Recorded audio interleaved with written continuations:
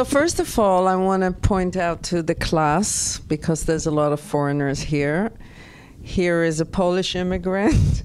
Here is an Israeli immigrant, and we did okay, right? So You're there's almost an immigrant. You're like an Italian, right? Uh, my father was born in Greece. Um, I get half credit. So, um, the first question I wanted to ask you is um, when I ask you what movie you wanted to show, you, cho- you chose Munich. You did so many amazing movies, and you chose Munich, and I'm a, a bit curious why you chose. It was simply, simply a, a choice of, of not seeing this movie for a long time. Right. I just wanted to see that movie.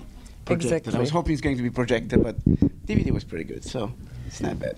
It's And, very. you know, we met during the during the Diving Bell and the Butterfly screening, so I didn't want to show that film simply because I just saw it. So um, was Diving Bell, Munich, or um, AI, which is the artificial intelligence, and I went for Munich simply because I felt maybe more more relevant to what's happening now.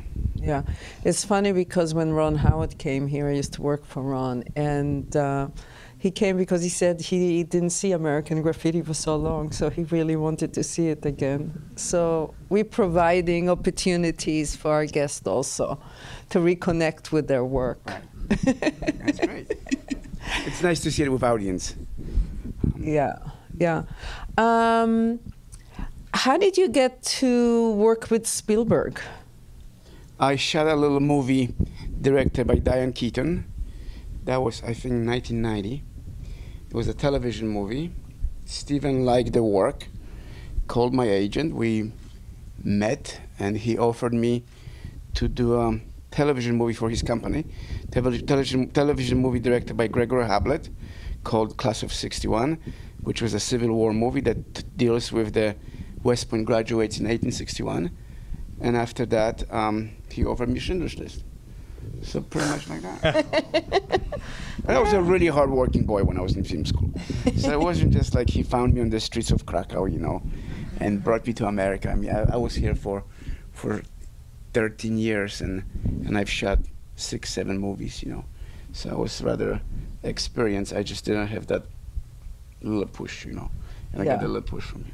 So let me ask you something. Did did the movie with uh, Diane Keaton um, was he connected to it, or he No, no, no, somehow he, he, he watches television. He likes television, you know. exactly? And that's the way he, he connects with the world by watching television. He loves television, and he saw it on television. He really liked the movie. Right. I know composers that got work because he saw their movie late at night on television and said, "Who is that composer?"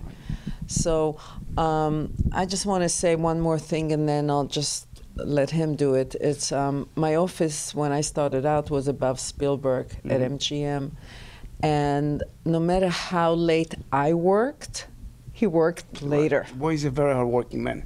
He's the most hardworking person that I've ever met.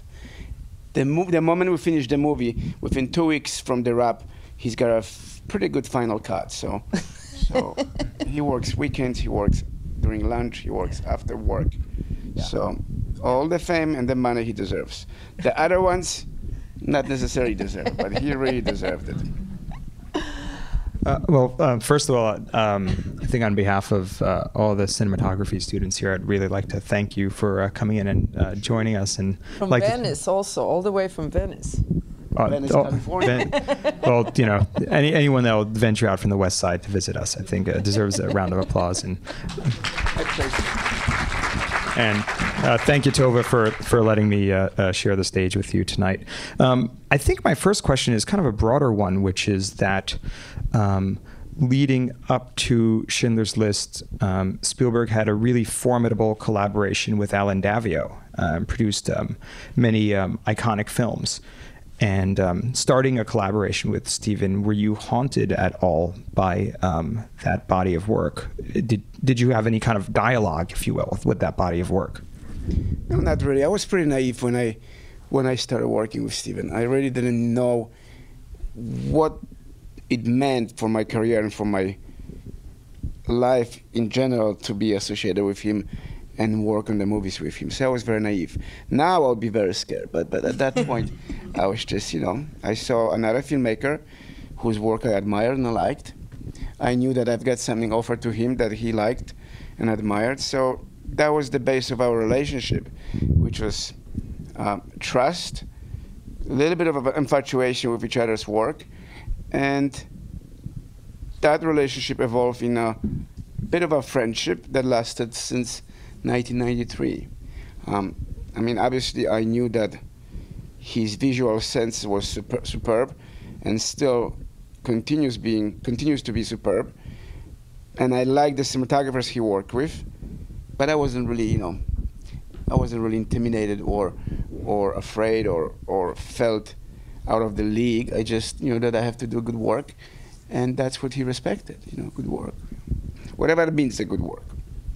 And um, looking back uh, at, at, your your body work with Steven, I, I feel like there's definitely um, a thread that runs through um, um all those movies. Certainly, um, uh, with uh, some of the bleach bypass work you were right. doing, um, and uh, there's uh, there's a there's a particular quality to um, all, uh, all those movies, regardless of the um, topic, that I think is instantly recognizable, at least to anyone that's mindful of, of cinema.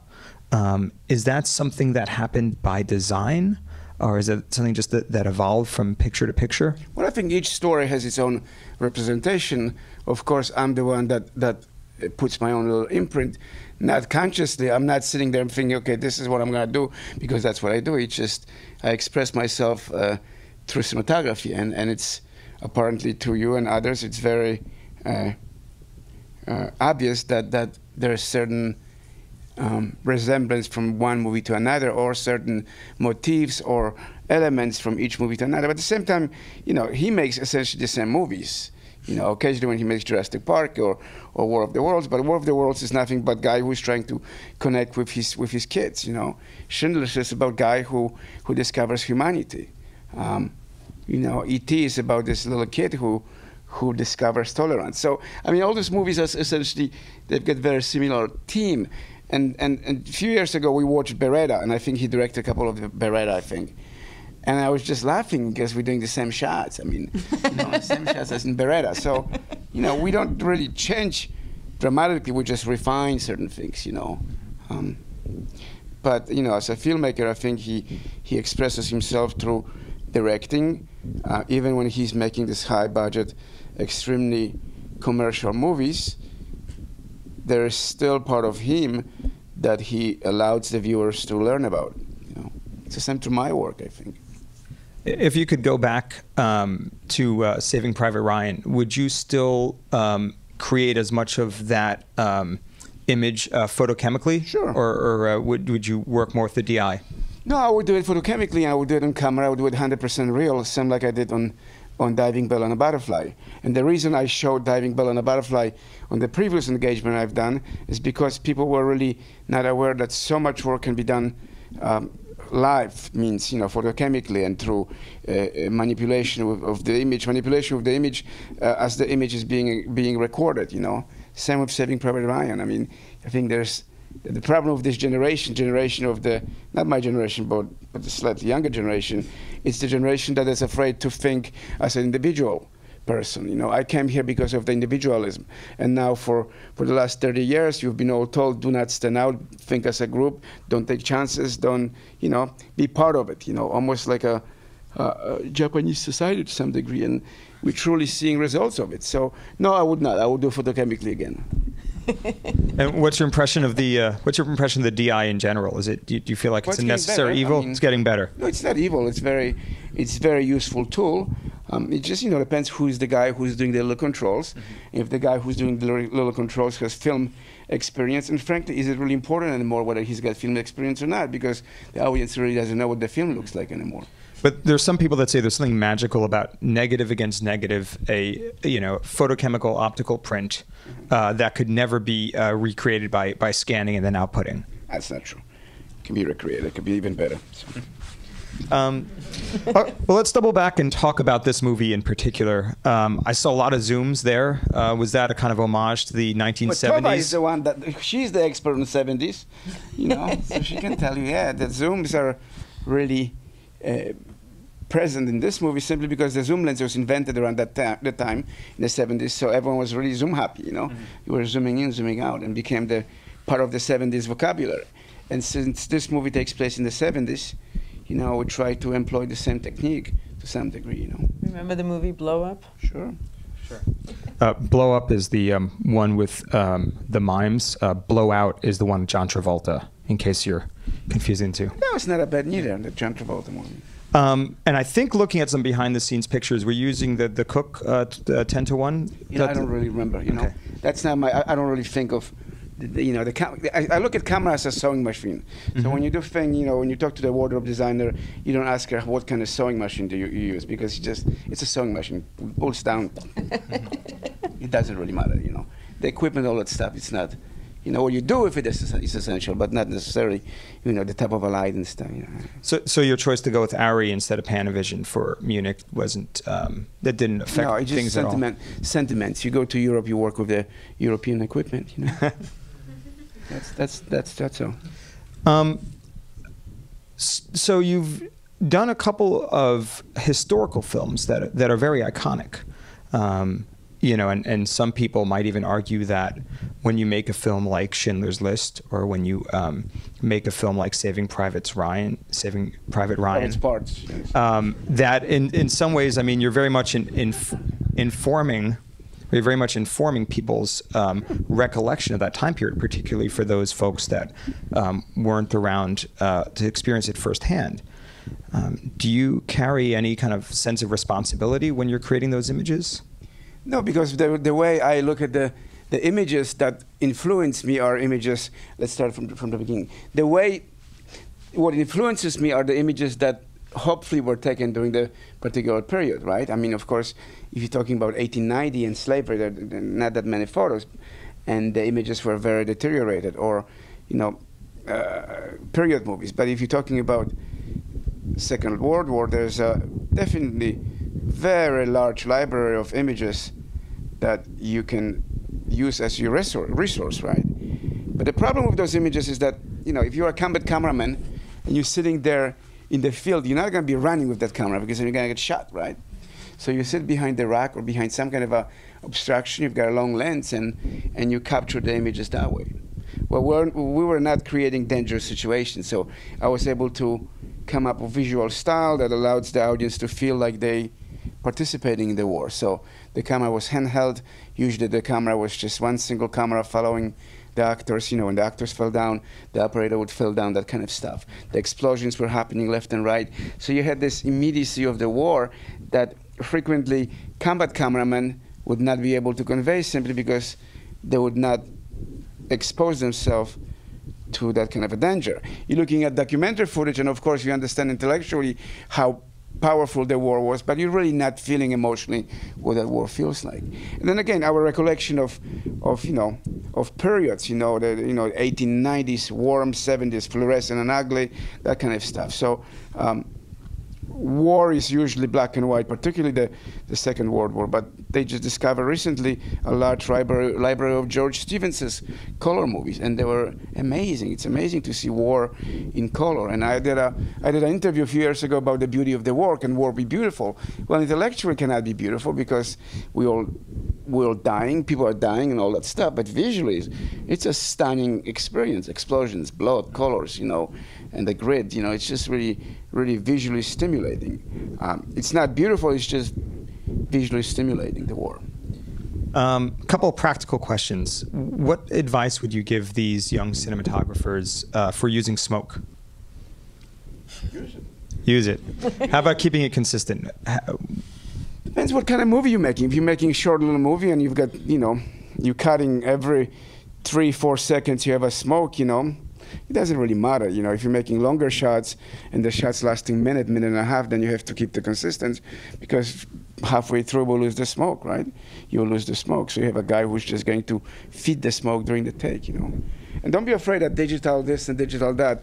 I did this little television thing, you know, it's called the event was shot digitally and we use we used smoke and and it's very interesting use filters put filters on digital cameras it's really it really makes the image more interesting not necessarily better or worse or closer to film it just makes the image more interesting and shoot. You know, if you don't have money to shoot with video cameras, shoot stills. You know, make yourself an assignment. Okay, today I'm going to take 20 frames that tells the, that tells the story from the beginning to the end. You know, whatever it is. My girlfriend uh, getting ready to go to wherever she's going, right?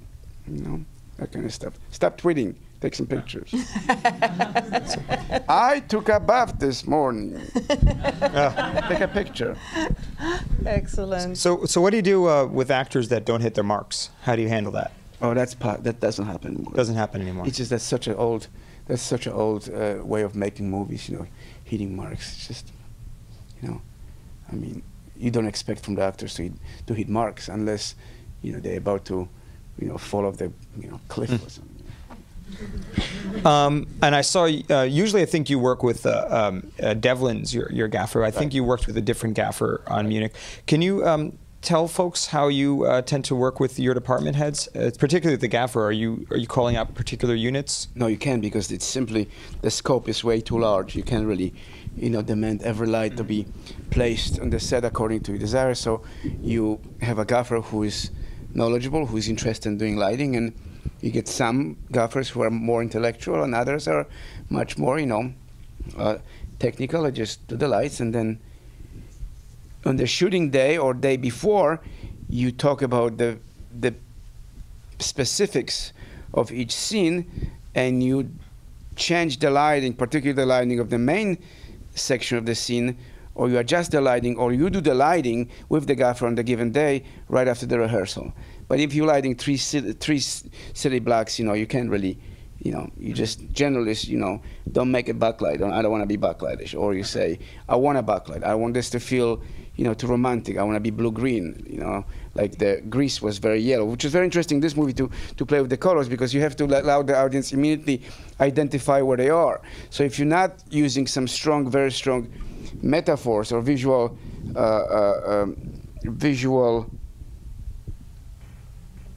metaphors, I guess, uh, you will lose the audience. So the first explosion was very yellow. Then we go to France, it's a little bit more bluish. Then we go to uh, Beirut, uh, uh, Israel, it's very still blue, you know, that kind of stuff. So immediately you want it to be, you go to Italy, it's very warm and fuzzy. France is very warm and fuzzy. So using those visual cliches that we as the people identify uh, with specific countries, you know, uh, Israel, warm, sunny, you know, Iceland, you know, day, all day you get light, you know, dark, and at night, you know, blah, blah, blah. Russia, gray and smoky, you know.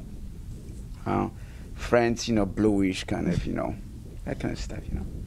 Uh, so yeah, you let the gaffer do as much as he can on his own because if he doesn't, then you're going to fall behind and you have to do more work. So surround your people, surround yourself with the best people so you can work less. And I want to work as little as possible, uh, you know. Except when I'm on the set, then I work as much as I can. But I don't, I, don't- I don't like pre-productions. I don't like going on location scouts and you know, just walking, talking about the cable.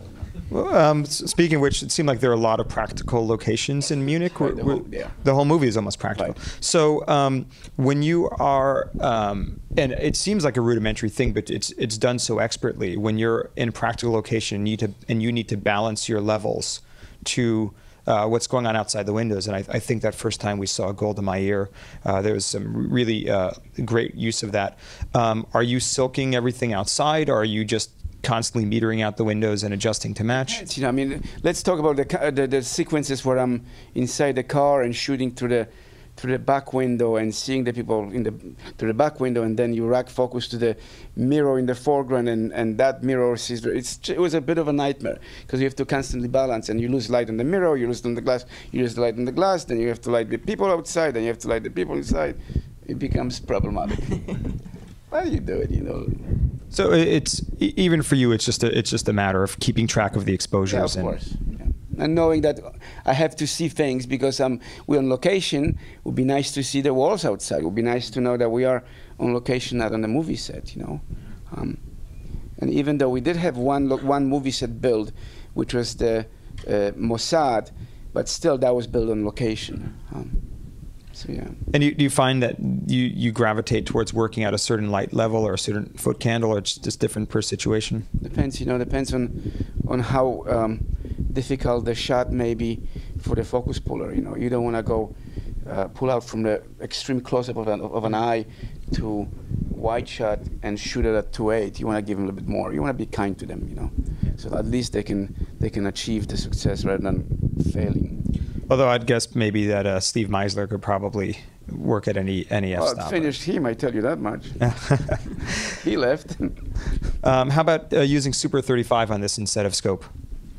It's just the grain. I want a grain, and it's easier and, and less light and less complicated. And you know, you go you go Super 35 inside the car. You've got different uh, different minimal focus versus the, the the anamorphic lenses, which are bigger and minimal focus. Minimal focus is three feet. You know, becomes complicated. You know. Um, I remember um, I was talking to um, I was spoken I was talking to Allen Daviau, and he said that um, uh, working with Steven, uh, you're filming every sunrise and every sunset because uh, he's always convinced that the next one uh, would be prettier than the one you just shot. You must have been very lucky because I've missed so many sunsets. and we'll be driving home at the best light. It's like, okay, here we're going home again. Beautiful sunset. Um, So he's, he, I mean, he's changed his his aesthetics. I think you know we evolved, you know, and he became more interested with in, in, in more realism. I guess you know. I don't know. Maybe Allen likes the sunsets. You know, I like the sunsets, but Shall we open it up for students to ask questions? Anybody has the nerve to ask question, please? don't be bashful. you have to stand up. Wow, you're making it easier for them. That would eliminate me right there. exactly. Um, hi Janos. Um, I just wanted to find out what do you look for in a director cinematographer relationship? What are those key things that you think are really important to have? I think for me it's very important that he, he tells good stories. You know, uh, whatever that that story is. It doesn't have to be linear story, but I just like uh, a director who who's interested in storytelling, not necessarily in just entertaining people, but but telling the stories. You know, and and sometimes you get the chance to work with other other directors outside Steven um, who are good storytellers, and sometimes um, not. You know, um, and I, I don't want him to be my friend. I don't want him to be, you know, I, I also want the director to respect me, respect my work, and realize my contribution and realize my years of experience, and and not to be afraid. And the fear is a paralyzing thing for many directors. And I want him to, I want him or her to have good aesthetics, you know, whatever that means, you know, um, you know. Uh, I have a second question. I just um, when the one of the first films I saw that you had um, done cinematography on um, was Schindler's List, and it's such a moving story. Um, I just wanted to know what your experience was like filming that. I mean, being in Poland, um, I'm pretty close to the story myself because my family's Polish, and so there's a lot of history there. I mean, what did you feel filming it? Well, I mean, it was very emotional simply because I've not been to Poland for 13 years. I left as a young fellow with, you know, pretty much zero in my pocket. And I came back with Spielberg to make a movie. And I left during the communism, came back at the early stage of uh, democracy. Um, was very emotional, very, I was very much interested in being in Poland. And I learned about I learned a lot about Holocaust. You know, we we as the Poles we're not being taught about Holocaust. You know, we're being told about the Second World War, and the destruction that the war created on various uh, ethnicities, such as Gyps- Gypsies, Slavs, Germans, Russians, and Jews. But we were not really focusing. Um, that we were not focusing on on, Holocaust towards towards Jewish people, right? So that was ex- extremely uh, uh, um, revealing experience. You know, um, it was very emotional at first, and then pretty quickly I realized that it's basically it's the same country that it used to be. You know, and I still have the same sentiment to some degree. Um, my generation is the generation that that's running the country, and and your generation will improve the country. You know, right now it's still a little bit a little bit tough. You know, there's some great people there. It's 40 million people. You're bound to find, you're bound to find some great people. Thank you very much. Sure. The next one. And better be prepared because it's being filmed.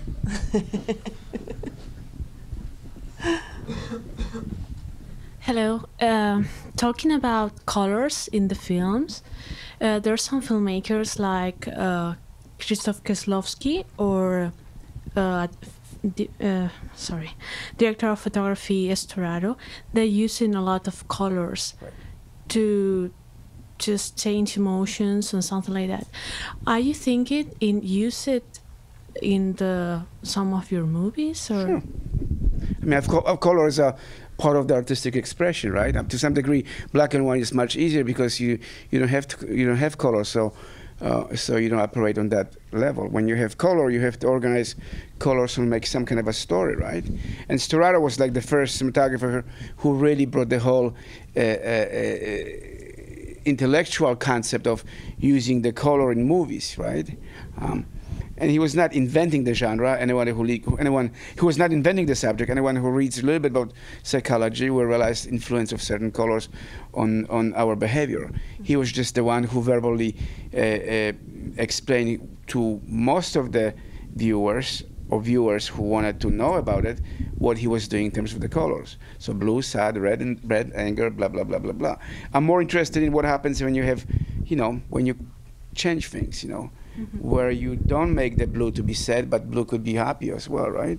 Sure. So when you, when you, yeah, what happens when you do a period movie and rather than having beautiful period images, you go into handheld, and you do it really greedy and ugly, right? You know?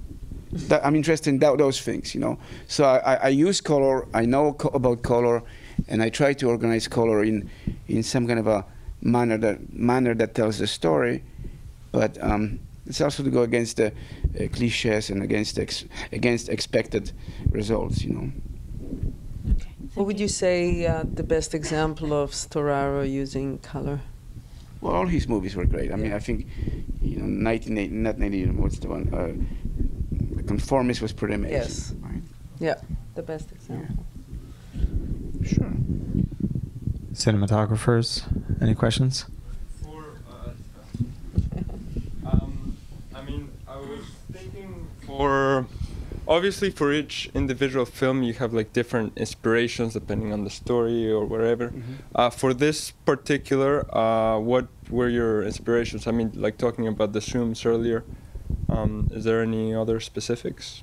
Well, the whole color palette. palette. You Mhm. have to work with certain certain uh, color that that that represents the 70s, and of course, what what represents the 70s are the movies of the 70s. It's the Yeah. it's the uh, Vanishing Point, it's the uh, uh, Panic in the Needle Park, the Midnight Cowboy, the Taxi Driver. It's not necessarily yeah, Taxi Driver, and um, what's the other one um, with Popeye driving? French Connection. French Connection, I think, was one of the bigger influences because of the of the color. But then you've got you get the Ip, Ipcress Files, which was which was a movie directed by by uh, Sidney Furie, which was pretty amazing film. And then you get Get Carter. So there are a lot of inspiration. It's not necessarily that I was borrowing the scenes, but all those great movies in the 70s that basically made me wanting to come to America because my perception of America was built uh, based on watching American movies from the 70s. So I kind of remember what that felt, you know, and just watching few what that felt when I was sitting in Poland watching movies in the 70s. So I kind of imagine what America must have been. So when I was just watching this movie here, I'm thinking, wow, this movie really feels like the 70s. Oh, it takes place in the 70s, God. so I felt uh, just for me, I succeeded in creating or recreating that kind of a feel of the 70s, you know. And the cars, I mean, it's not that hard to create period feel, period look. You put you put couple of cars, you put people in funny haircuts and wardrobe, and you've got a sense of the period, right? Yeah. Um, I think what's interesting is to to restrain yourself from going too far, like like um, what Harris Savides did in in the movie with, the, with in the movie with Denzel Washington about the drug dealer, right? What was it called? American American Gangster. I think Harris did a fantastic job. He totally restrained himself. He wasn't flashy. He wasn't really showing off, and he really uh, uh, conveyed the period. Nobody paid attention, but to his work because it was just so uh, so right and so perfect, you know. So you have to be a little bit flashy so people can look at it and see, wow, this is good work, you know. And uh, on a more, uh, I mean, obviously, Diving Bell and the butterfly is not a period piece. Uh, what about that one for inspiration? Well, for inspiration for that movie, I've used the book, and you always use this. You always use the script. You know, I mean, it's all in the script if you read it properly, and if you have the right director. You know, I mean, you know, with with the wrong director, Diving Bell and Butterfly could become very schmaltzy, very kind of a, uh, uh, you know, uh, uh, soft film. Yeah. So when I met with Schnabel, I wanted to know whether he's interested in making a coherent movie. Simply because sometimes with artists they want to be too experimental, and I don't want to do Stan Brakhage movie. I, want, I wanted to make a make a movie that, that has a story, a movie that, that has audience, and, and I wanted to do it with an artist or with a director who is interested in making the movie for audience, not just for his friends, you know. Mm-hmm. And Julian definitely wanted to make a movie for audience, and I felt he succeeded 100%. But he was also not interested in conventional storytelling, and that collaboration ended, ended, ended up being very beneficial for both of us, you know, in terms of making a mo good movie, not, not in terms of making money, yeah. but in terms of making a good movie. Uh, of course. it's very challenging. we made no money, actually. a small little movie. Okay. Next one. Oh. Давай, ребята, no. I have a, okay. While he's going, I have a question for you. When you said that you uh, don't like all this pre-production and you know so on and so forth, so how did you how do you get the work done? When do you, you hire the right people who work for you? And you so hire the great gaffer, they great go for they go and they, no, they, they go into pre-production. And they say, I, mean, I go scout, of course, but then I scout with them. Then they go three, four times again, and and they tell me what they what the intentions are, and I say, mm, that's good, you know, okay. They say, well, you're gonna have to fight for us in terms of the equipment, okay. okay. I thought maybe you just show up no, the no, day no, of the shoot. No, no, no, doesn't they say, okay, do this, this, okay. But the movies are so massive, you know. You just, I mean, you get previs and you look at the previs and it's like, how am I going to do the shot? You know, I, I, have no idea. So let other people figure out who actually know how to do it. You know. Hi. Uh, you mentioned you shot most of Munich on location. Do you have any trouble with lighting setups in tight spaces? Do you have to sacrifice or change anything, especially on some of the longer shots going from room to room? Well, the, the, the, particularly in Malta, some of the stuff that was shot at the at the um, safe house was really difficult because it was just basically a rundown building with with not really great access to the windows and stuff like that. But then you just simplify. You just make a one light that's really hot, let it bounce from the walls, and makes a makes a interesting style statement, and also works for you in terms of the storytelling. You know, uh, it's better on location than in the studio because in the studio you've got all the freedom, all the equipment, not necessarily the time, but all the freedom um, to move the walls and so forth. But what you, what, you, what you don't have is actually the limitations, and you don't have the background. And no matter how much you work on putting artificial background outside the windows, it's always tiny bit looks artificial, you know. Cool. Thank you. So locations are great. I love locations. Actually, more than the studio. Thank you. Sure. The air is better too. In Malta, yes. Hi. Uh, I had a question about um, when you're dealing with like an intense scene. How do you prepare? Um, like, let's say the the opening of Saving Private Ryan, where there's so much action going on. How do you prepare for that? Well, you do tests, and then, you know all that stuff that seems to be unprepared was very prepared and very rehearsed for one reason. You know, it takes about week and a half to lay all the explosives. So, so if you blow it, you just blew it. You don't have a take. You know, so you, so it was, you know, it was very much rehearsed. Everything was rehearsed. What was not rehearsed was the uh, speed of the actors as they travel into the scene and just you know everything happens slightly different when you when you actually have explosives blowing up next to you and you get the stuff flying. Uh, everyone gets a little bit more adrenaline. In terms of the visual uh, preparation i that i've done very extensive tests you know in terms of uh, uh how i'm going to manipulate the image what is the technique i'm going to use to what extent i will uh, uh, manipulate the images. So they still look like you can follow the story, but they saw this this joint that you almost feel like you're looking at something that's documentary, you know. Um, and you, I've tested that, you know. So I knew what I can achieve, what I what I had to do, not necessarily convince the director because the director was very easy to be convinced, but but to make him to fall in love with it.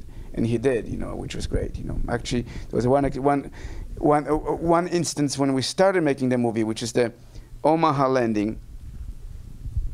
Um, we shot for three days and we didn't get the dailies for three days. And Steven usually looks at the scenes where uh, where he's got the entire scene filmed.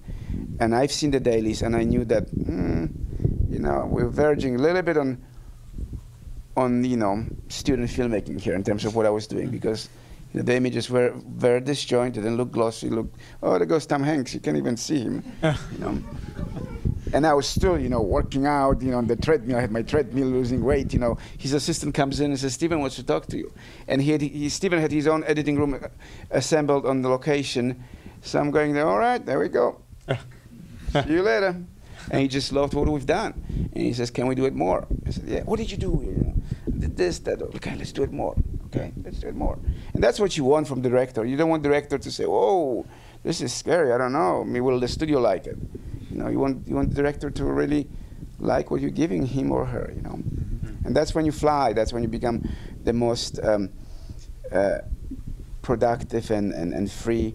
And I think that's the Stevens trademark. He he allows not allows. He gets the, what's best in people because he doesn't allow us. We've got it, but he gets what's in us, and he he positively reinforces our desires to be better. You know? And I think one of the good traits of the director is to hire great people who can make the movie for you. Of course, if they make a really bad movie, you tell them, well, you know, I, I, I told him not to do it, but if the movie is good, yep, we all did it together. Okay, thank you very much. Take some uh, secure director though to let everybody fly. Um, uh, here's a question while we wait for hopefully um, another student to queue up. Um, when you look at um, the sweep of time that you've been working in, say from Cool as Ice uh, to now, um, what was the biggest change as far as the way movies are made that, that's affected you? the marriages were the biggest change. They just, they just go away. Yeah, the marriages disappear. So don't don't forget to live a life a little bit. Nothing changed really in terms of the storytelling. You know, I mean, I don't see any like young, bright, famous filmmakers evolving from the uh, digital generation. You know, I mean, yes, it's easier to make it, and anybody can make it. But there was something beautiful about necessity of raising money and and presenting yourself to potential investors, you know, actually making a movie. We get 3,000 entries to Sundance Festival, you know. 3,000. All those movies cost 500 to 3, 4 million dollars, you know. And nobody wants them, you know. So I don't see any like major change in storytelling. It's faster, right? So that's one thing. I mean, you know, we don't have the patience to watch movies that that evolve in a slower way.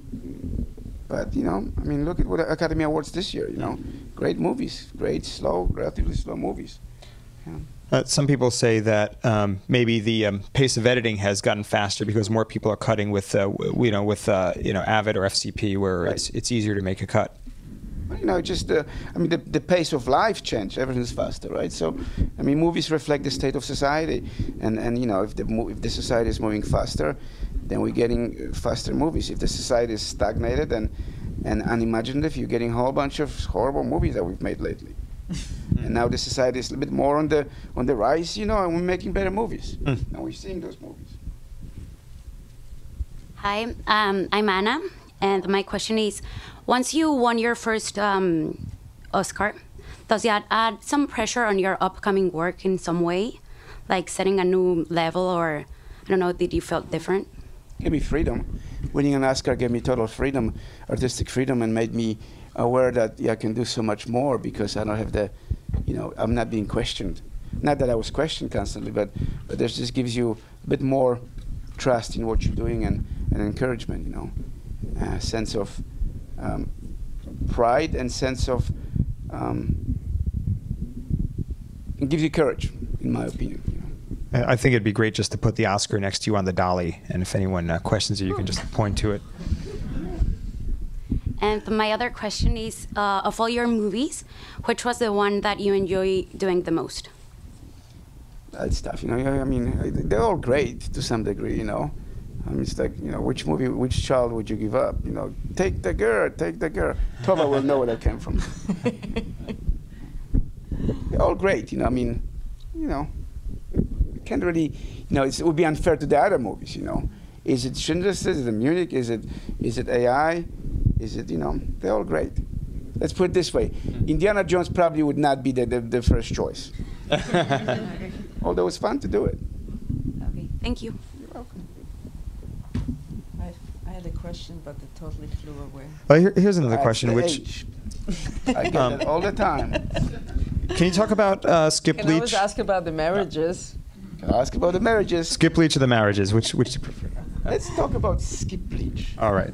Um, uh, talk about how you got turned on to it, or are you still using it as much as you used to? You know, I I think during the Amistad, which was what 2000, no, 80, 1980, 1996, I think. I was looking for a way to uh, debeautify the image. You know, it's it's a slave history. It would be totally wrong to have you know beautiful firework with pretty warm colors while all the guys are getting chained up and locked up in the prison, right? So I started investigating different processes, and and the process that I started using is it's not the process that really was invented for me. It was invented for Storaro, and hence why his movies look so great because he was the only one who was doing it for so many years. And once I did a little test, I realized, wow, I think I got a little, little, I've got a little bit of advantage over other guys because it just becomes so much more beautiful. The whole image, images become more interesting, more beautiful. They have unique quality. The color saturation becomes different. The, the, the shadows become different. Everything becomes more velvety, more gorgeous, you know.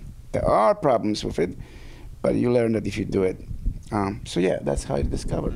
And pretty much since 1995, every single movie I've done was with Bleach Bypass. Uh, it seems, at least to, to my eye, um, when you uh, Minority Report and, and, and AI, that was kind of the, the kind of peak of it. It was really uh, you're really using. Uh, But that- War of the Worlds was also Yeah, also was, was with Bleach, but with with ENR. You know, just a amount of how you use it. You know, and it doesn't have to be desaturated. When obviously the process, which is a silver silver retention process, which retains the silver in the emulsion, which desaturates the colors. Knowing that that's what's going to happen, you just ask the color color timer to put a little bit more color into the mm-hmm. into the positive. You know, mm-hmm. so it doesn't have to be saturated. And did you, um, for those movies, do do you, when you do your um, final release uh, telecine, are you going off an IP, off the IN, off the Yeah, print? th- it was all photochemical. All those movies we're talking about are photochemical movies. You know. uh, but for just for the DVD. No, no, no. For uh, for DVD, sometimes I'll do it from the positive, from Uh-huh. the print, because uh, you're just not able to really reproduce the the, the quality of images if you if you um, going from the negative. Sometimes you. So you, I, I got. I know what you're asking me. So for example, when you do bleach bypass, you do it to the positive or you do it for the negative. Do not touch the negative. Let the negative be pristine. Although in Munich, I've had some scene where I manipulated the negative, whatever. So sometimes when you get a bit more strength, cojones, you know, you can do it. But but so when you do DVD transfer, you obviously the, the, the technology does not allow does not allow for the various reasons to reproduce the same tonal range as the film. So for the dark scenes or very contrasty scenes, you would bring the negative and you would do the DVD transfer from the negative.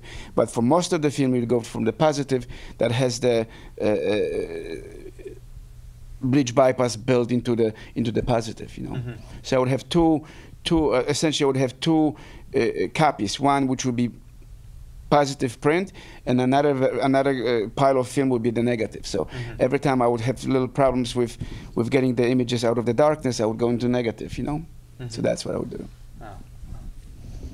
Uh, hello.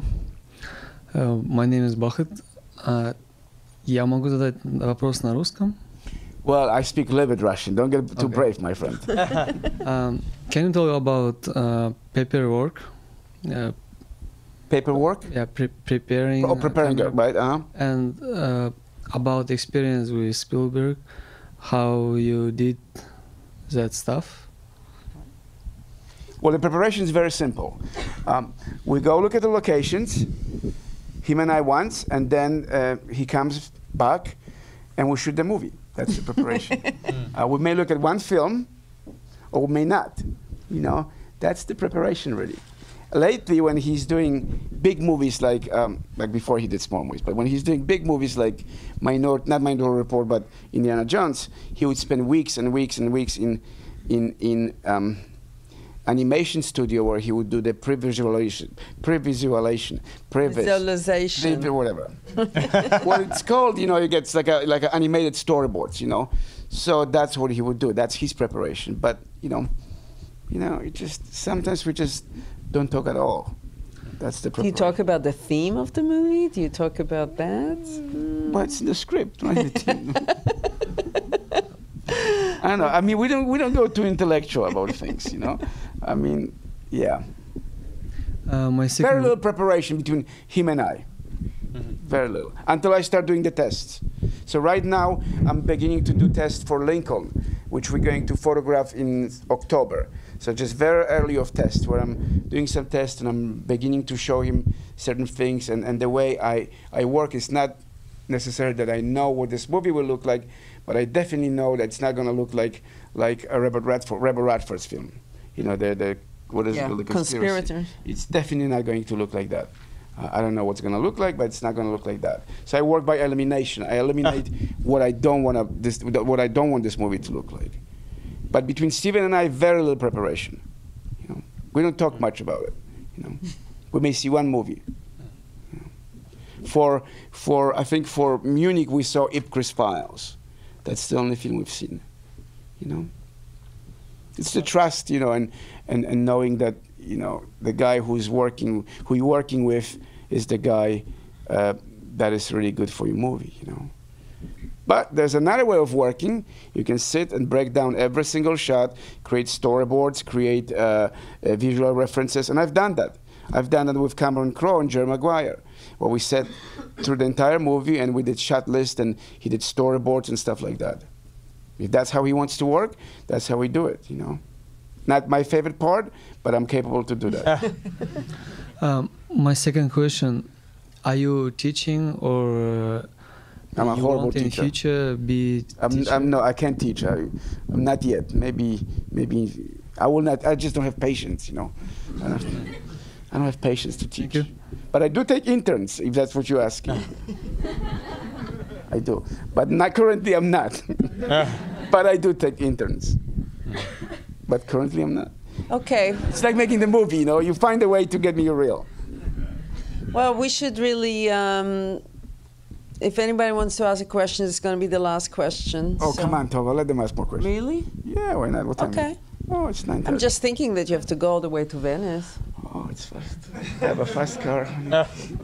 Um, being so well known now and uh, experienced professional, do you still like working with just starting filmmakers? And if you do, is it how is different from working with established stars like Spielberg? And I don't know if I know how to work with starting filmmakers. You know, I mean, every filmmaker I've worked with, they've done at least one film, two films.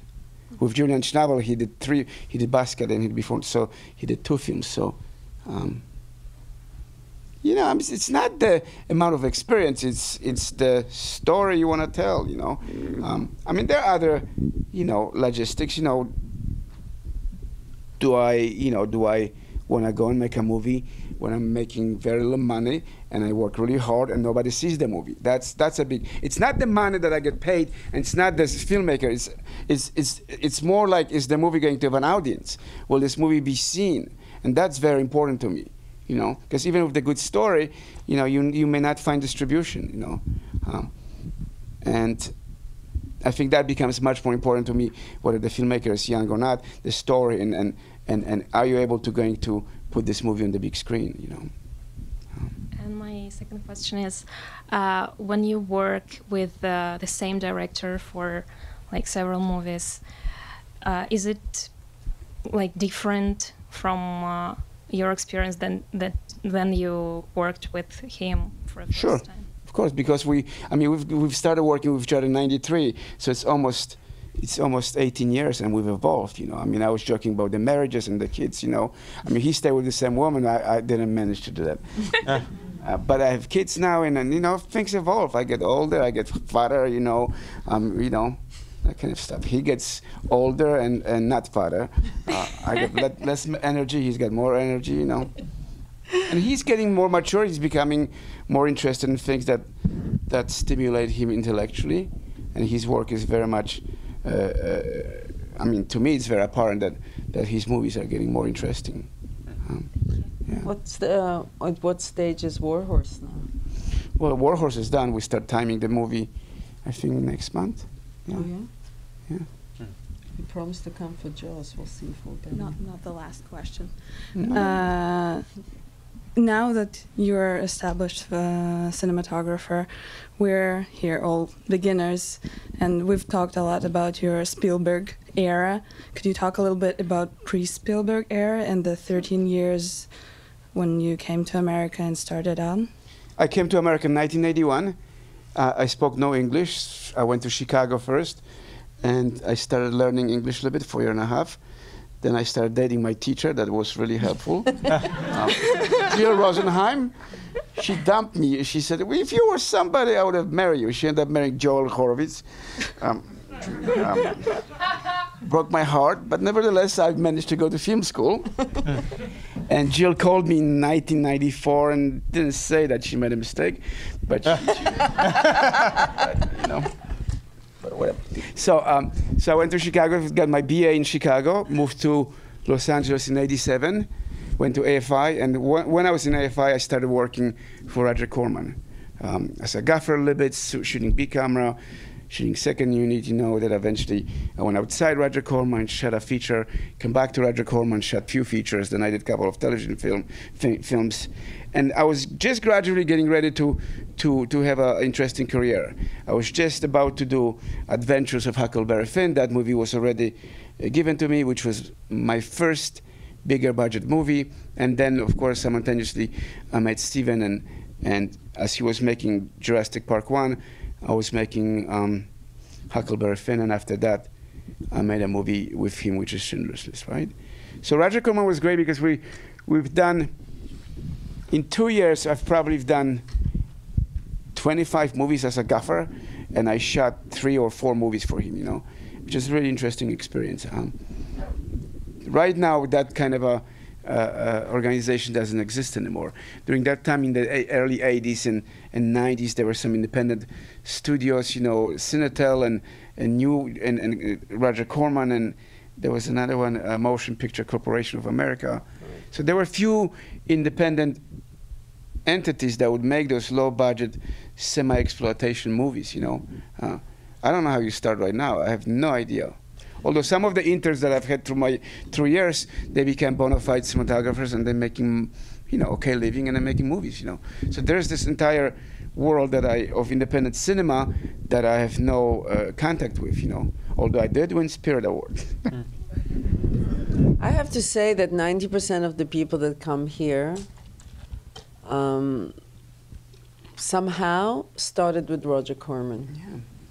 90% of the people from the 70s and 80s, some, you know, it's amazing that you came at 81 and you were still, he was still No, it was in around. uh, yeah, but, I, but I've met Roger in '87, so so it was the early. Wow. Yeah, early nine. so he was still active. He was That's still active. Yeah. incredible.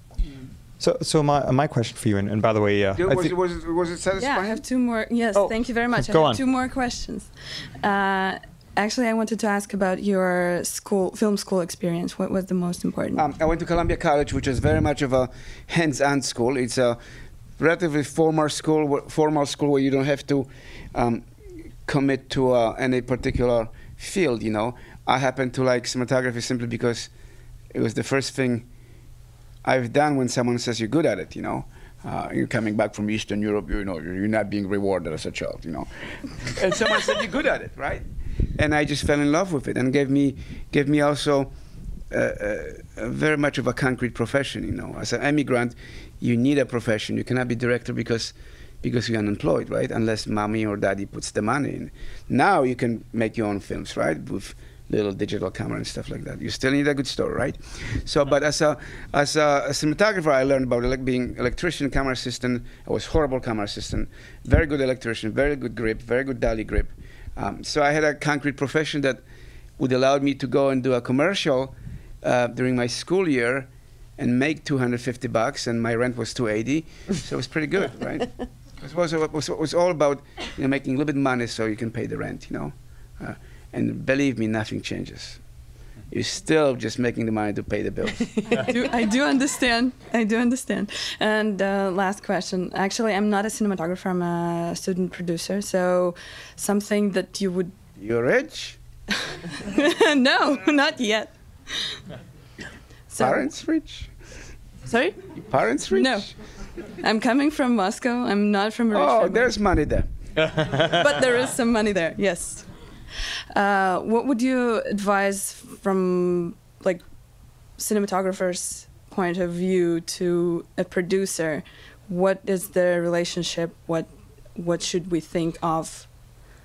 You should think of cinematographer. Who, you should think of cinematographer who has more experience than the director, simply because they will drive the production for you.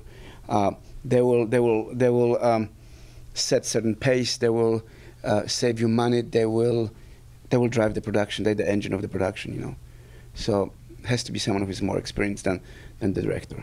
You know. Thank you. I, I think you said once, um, uh, nothing we can do, um, nothing we c- we do can make the director go faster, um, but we can certainly slow down a fast director. It's true.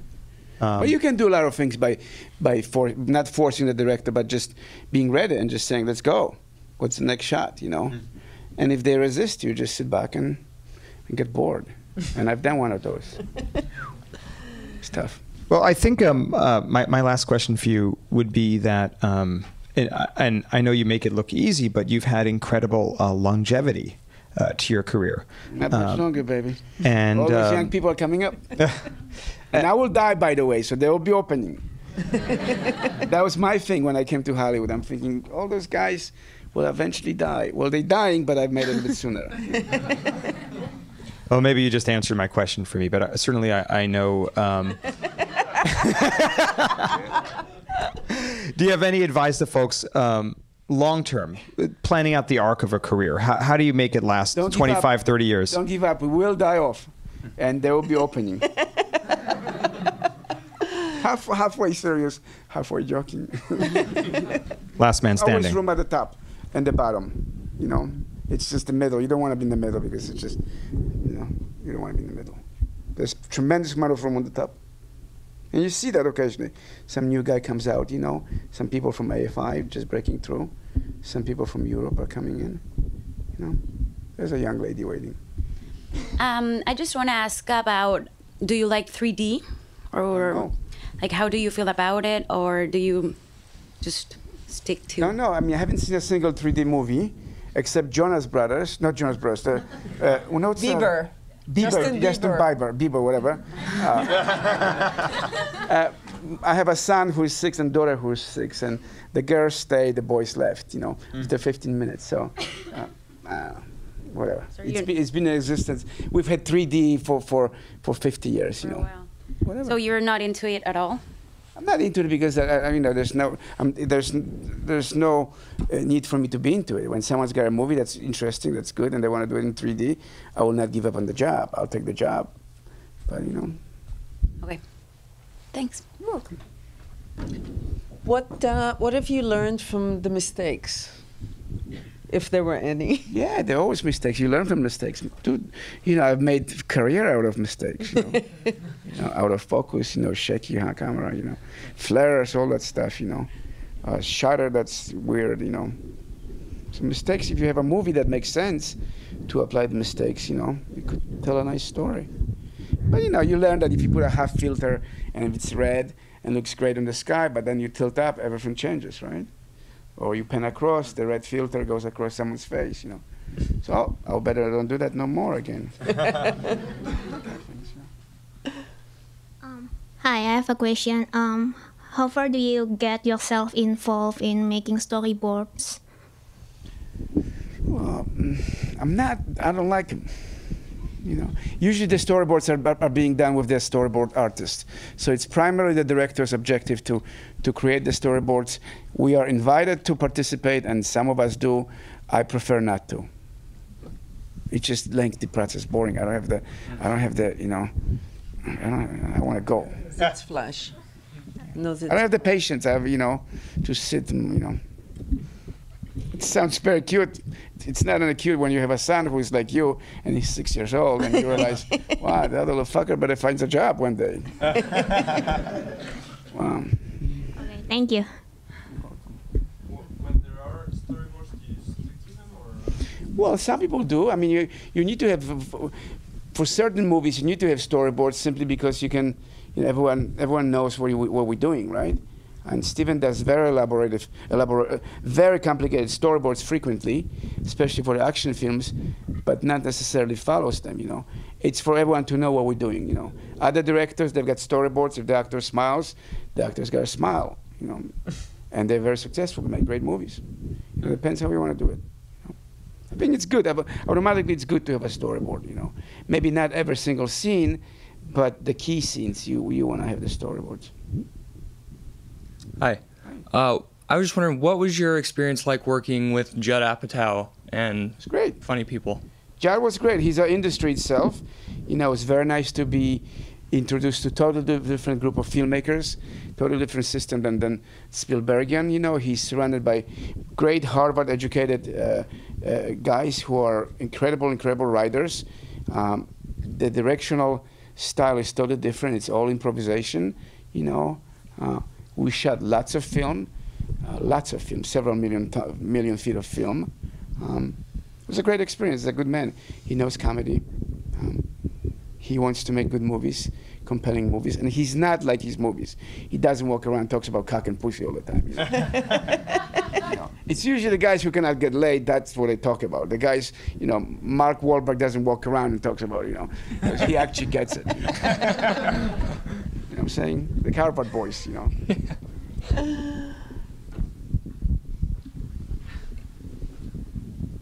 and that was probably not appropriate. Adam. Strike it. Uh, hi, I was wondering uh, what inspired your new uh, interest in directing now? I was in, I started being more interested in, in, in, in words, you know, in verbal storytelling, not just images, you know. And it's very exciting to direct. It's like riding motorcycle, you know. You get out and it's just, you know, it's scary. You know, you drive, you smoke a cigarette or you read your phone. You get a motorcycle, you fall down, boy, boy, you die. And that's directing. It's great. It's very stimulating. And it's exciting. You know, I would love to do it more, but probably I will not. Would you, would you venture into a feature? Sure, I've done two little movies. Yeah, one or two was not big. Was not was big. The rev- revenues were, were little, but the movie was big.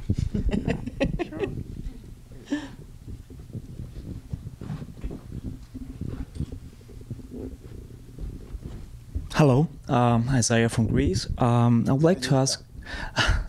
I know Uh, other words too. But you don't want me to tell them. okay, Malaka. Yes, even more. But carry on. yes. Um, I would like to uh, ask about uh, Schindler's List. I think, for my opinion, is the best um, from uh, cinematography. Uh, about the red uh, color from the dress of the Right. little girl. What is the meaning, and if is your idea that or? was not my idea. The, the movie is based on a book, and the, the little girl in the red dress was written into the, into the novel, right?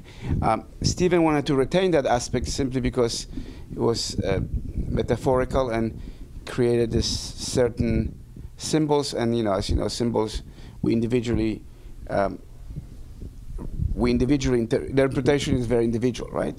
Technically, how we've done it, we've done it with shooting a color film, and then um, the image would be rotoscope, which I don't know if you guys know, but each frame would be hand uh, painted and taken. The color was, was taken out, and then each print was hand spliced because obviously you cannot print color negative and black and white negative on the same print stack. So each print was hand spliced, at least in the in the primary market, and and that's the that's the technique. That's how we achieve the the, the brief moments of color in, bla- in, in, black and white movie. Now the meaning of it, whatever you think it is. Okay, thank you so much. Especially for great. Man, you have lots of the meaning, you know, meaning of the of the symbols. Amparo. Hello, good night. I would like to ask you something about the cinematography of The Diving Bell and the Butterfly. I really love the movie. I think it's a kind of a visual poetry. And. Uh, I like how you chose to shot the POV of the man. So I would like to know. I saw the the the Swift and Tilt lens, Tilt and Swift. So Yes, yes. did, did you change the speed or the shutter angle or something like this also in this in the first shots when he's waking up? Sure. I mean, you know, when he's waking up, I've got various techniques. One of them is is a lens. It's called rubber lens, where it's basically a lens that if you if you don't touch the lens, it's out of focus. But you know, when you grab the lens with your hand, you can selectively choose the focus, right? So it's called rubber lens. Then I used swing and, swing and shift lenses, and um, I had this focus puller changing the focus as the actors were talking.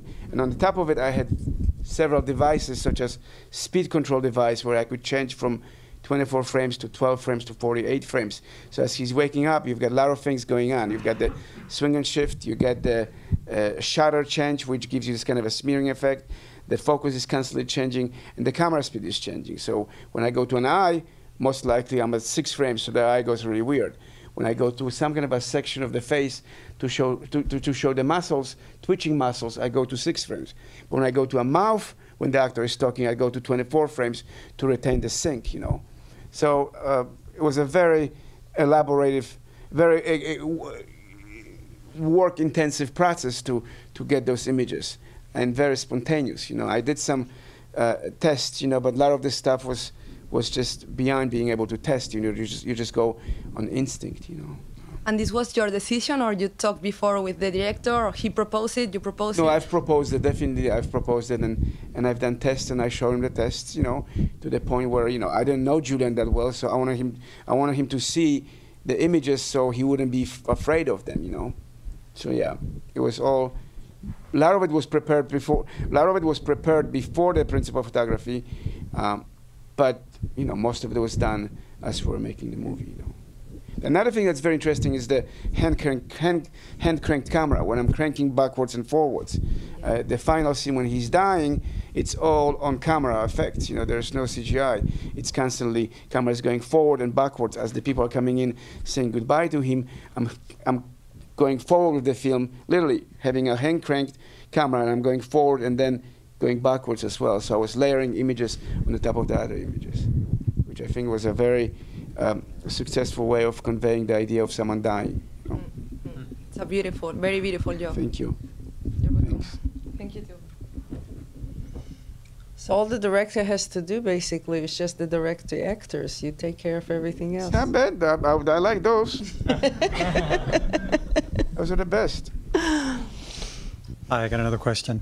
Um, how do you feel about digital, and where do you think the future of film is going? I think digital is getting better. I think it's it's in Europe. It's the norm. Nobody has the money anymore to make to make uh, movies and film. It's getting better. People are saying it's fantastic. You know, and what's interesting is we we we we're in the process of not comparing it anymore. Each digital has its own language, and, and you tell the story, and and the images are decent. You know, they look great.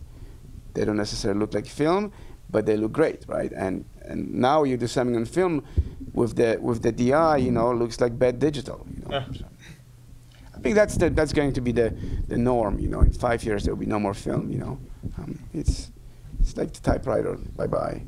You know, still try to do typewriting. You know. I still bemoan Polaroid. Yeah. It's all gone. Yeah. So that's the that's my take. You know, I mean, it's the it's the it's not necessarily the future. It's the present right now. You know.